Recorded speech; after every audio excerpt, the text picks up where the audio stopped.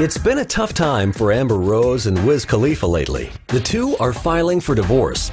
The husband and wife of a year are reportedly in the middle of a bitter split. According to TMZ, the divorce documents have been filed, and Amber is asking for full legal and physical custody of their one year old son, Sebastian. She went on to say she's willing to give Wiz visitation rights. We're not quite sure what caused the split, but there have been rumors going of infidelity. So far, nothing official has come out about it.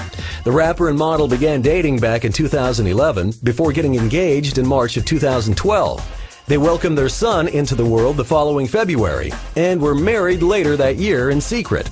The two have yet to